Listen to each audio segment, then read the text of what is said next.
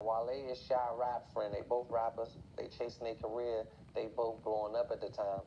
John Wall come around too. Sometimes John Wall come around and he hang around, but when they come around, they don't bring no security guard. John Wall come with us. It'd be me, Shy, John Wall, Wale. Like I got a picture somewhere. I'm gonna find it. It's a picture of me, John Wall, Wale, and Shy. We in Cafe Asia in the club. There's no security around. No security guards. I'm the security. They with me. They fine. I promise you. That's how we was moving. Shy got his security with him, and his security is y'all security. Y'all good.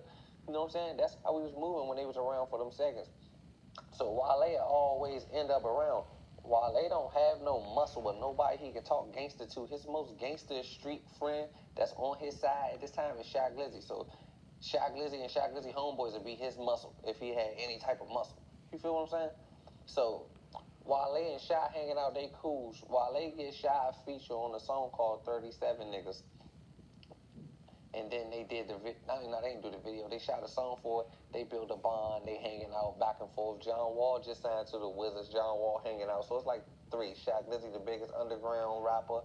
Wale, the biggest in the industry. And John Wall, the biggest athlete here in the city. So they all hanging out. They